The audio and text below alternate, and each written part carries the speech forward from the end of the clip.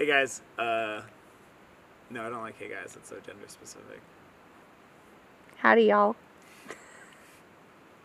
Hey y'all, Jase Grimm here, and a little update on Uncommon Fruit. Um, we're doing really well on my GoFundMe page, so if you can support, go to bit.ly backslash help Jase, all in caps. Um, you can find that on my blog, which you can find at uncommonfruitco.blogspot.com, or you can just head to my website, which is uncommonfruit.co.